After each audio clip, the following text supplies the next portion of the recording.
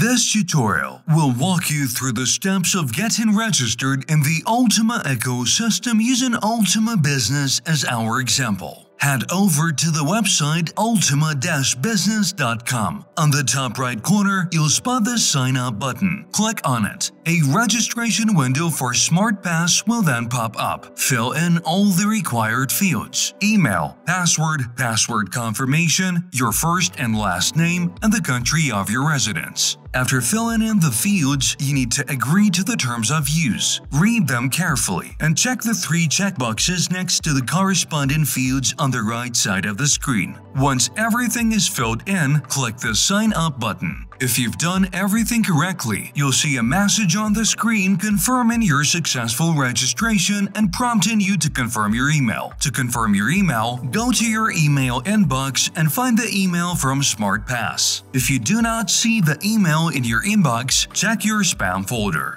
Click the Confirm Email button in the email. That's it, you have successfully registered with SmartPass. To access the Ultima Business website, click on the Go to Ultima Business button. If you have any questions about the registration process, you can always contact our support team.